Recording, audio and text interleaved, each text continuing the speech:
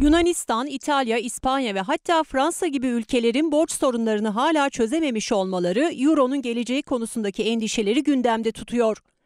Almanya ise 4,2 trilyon dolarlık milli geliri ve 267 milyar dolar ticaret fazlasıyla Euro bölgesini neredeyse tek başına ayakta tutuyor.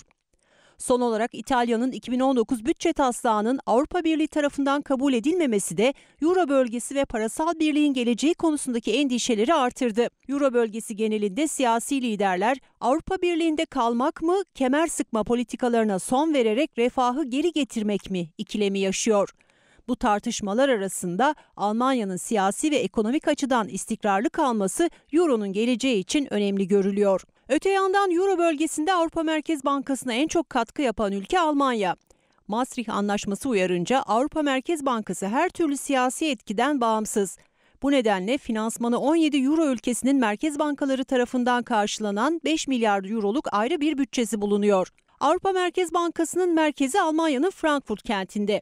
Frankfurt bu nedenle Euro bölgesinin de finans merkezi konumunda.